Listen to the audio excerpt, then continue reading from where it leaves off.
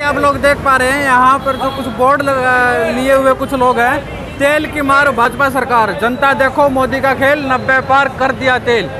बहुत हुई महँगाई की मार। अब जाओ भाजपा सरकार।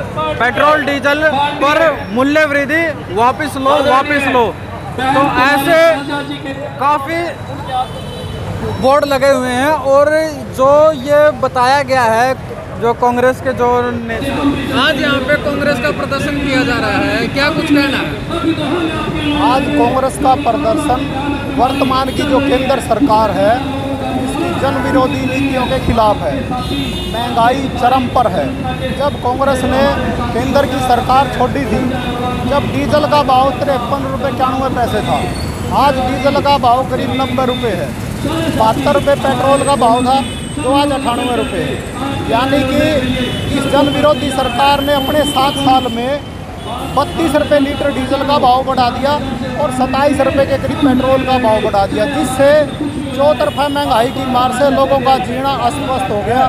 क्योंकि पेट्रोल और डीजल एक ऐसी चीज़ है जिसका गरीब, मध्यम सब लोग इसका प्रयोग करते हैं। कोई हमारा युवा साथी पाँच हज़ार की नौकरी कर रहा है, वो भी पेट्रोल डलवाता है। सौ रुपये का पेट्रोल एक लीटर आता है तो चार हज़ार रुपये का उसका वही खर्चा है। और सब्जियों में, फ्रूट में, रसोई में, हर चीज़ में डीजल, पेट्रोल का खपत होती है। इस करके आज जनता महँगाई की मार से तराई तराई मची हुई है। और कांग्रेस पार्टी प्रदेश में और देश में मुख्य विपक्षी पार्टी है। तो कांग्रेस के सभी कार्यकर्ता, सभी नेता आज यहाँ धरना दे रहे हैं। और इस सरकार से हमारी मांग है कि ये वर्तमान सरकार हर मोर्चे पर फैले।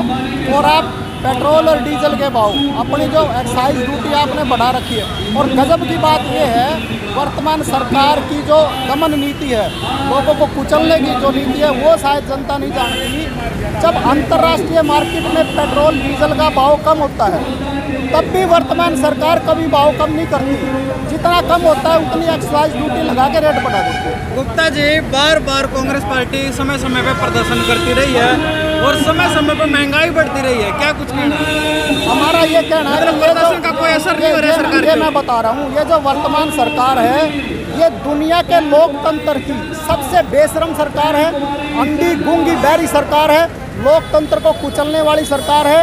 ये सरकार किसी की सुनती नहीं पूर्व में भी सरकारें रही हैं जो लोगों की सुनती थी धरने प्रदर्शन यदि देश की जनता करती थी तो उसकी बात सुनकर समस्या का हल किया जाता था परंतु वर्तमान सरकार की जो नीतियाँ हैं कि देश की जनता देश का किसान देश का युवा व्यापारी कोई भी वर्ग कितना भी बड़ा आंदोलन कर ले इन्होंने कसम खा रखी है कि किसी भी सूरत में हमने जनता की समस्याओं का हल नहीं करना।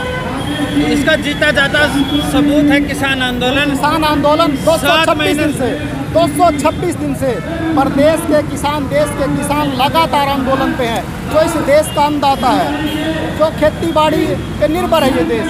लेकिन उनकी भी सुनाई नहीं कर रहे ये बहुत बड़ा जीता जागता उदाहरण है। लेकिन अगर धरने प्रदर्शन इस सरकार के खिलाफ नहीं हुए तो भारत के लोकतंत्र को खतरा है। ये मैं साफ़ शब्दों में आपके चैनल के माध्यम से पूरे देश की जनता को कहना चाहता हूँ कि जितना विपक्षी दल है जितना समाज सेवी लोग हैं, आम जनता, हम सबने वर्तमान सरकार के खिलाफ सड़कों पे आना पड़ेगा। नहीं तो ये सरकार लोकतंत्र खत्म करने की तैयारी है।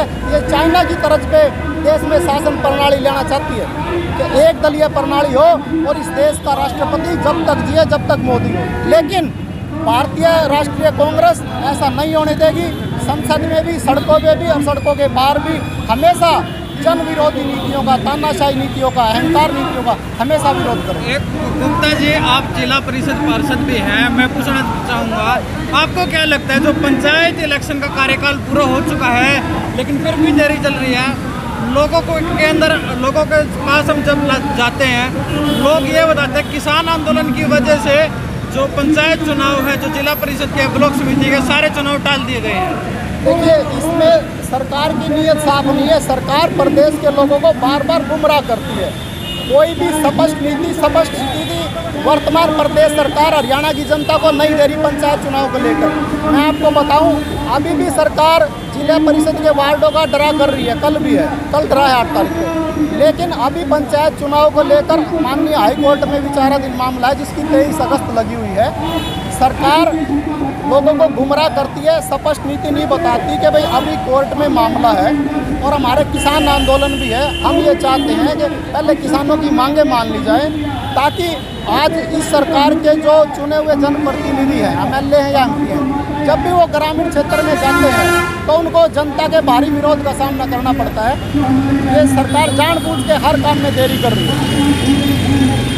धन्यवाद सर, आपसे बातचीत हुई। ये जो सरकार है, मेरा निवेदन सारी जनता से है।